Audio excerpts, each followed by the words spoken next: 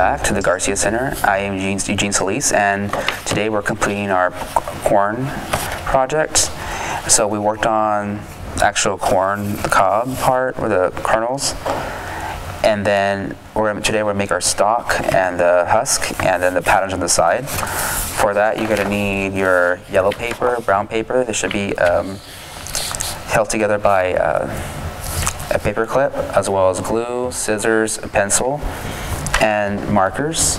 And again, if you need help with some cutting out certain shapes, we have the husk tape right here next to the corn shape. Looks like a giant teardrop. So for mine, I'm gonna go ahead and you can make up to two pieces or three. I'm gonna do four. And I'm just gonna draw it up myself, but again, you can always use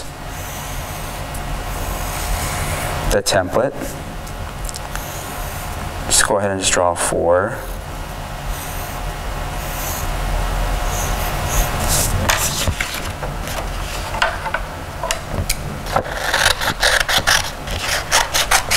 Okay, a little bit bigger.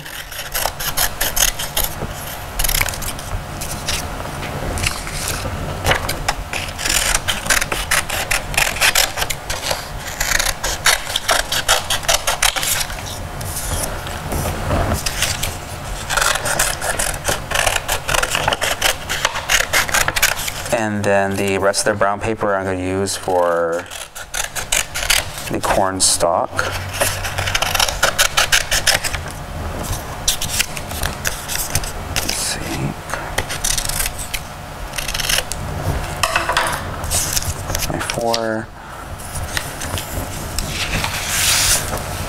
Okay. Get my glue.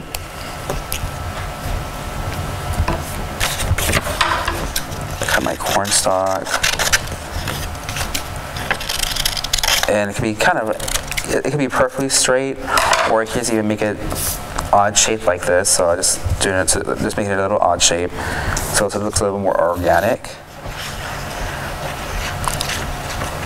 And coming, I put my corn stalk coming from the bottom corner, and I'm gonna cut this off. I have any, if I don't want to stick it out of the paper, you just cut it off.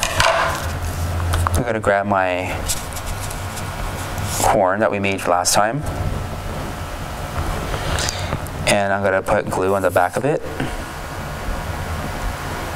And it should be nice and dry.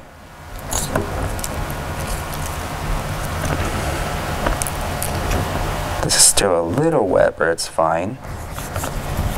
Got some glue in my hand. And then for the corn stalk and the see, the husk. I use the bigger pieces to cover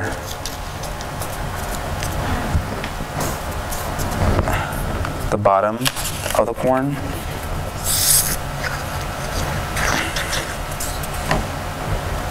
So I'm covering it up. And then I have these two smaller pieces just to add, to fill up a little bit more of the space put anywhere you want. It could be behind the corn, it could be above it. This one I'll put right here.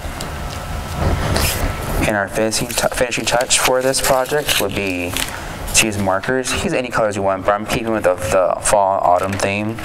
I'll use stick to the warm colors like brown, red, Mm, orange might show up, and of course I'm gonna try to use black, because black against this yellowish color will stand out really well. And it can be just a basic pattern. So put circles within circles. It's just a design touch, just to finish up our project. So, so these designs kind of just frame in your corn. and make your work look more complete.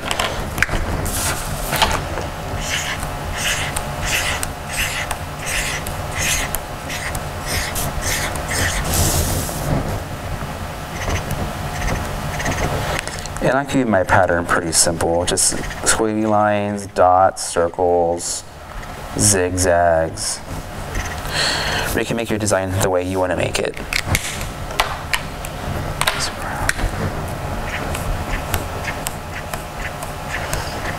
You could do all sides of the pattern. You could do the sides with the pattern. You could do all four sides. I'm gonna just go ahead and make some three sides of the pattern. This one I'm gonna go ahead and just use nice curvy line. And maybe some triangles.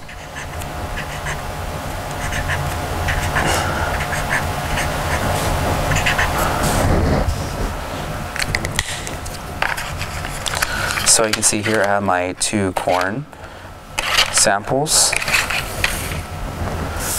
using our fall color and our using our fall theme. And I'll see you next time when we start our Christmas projects.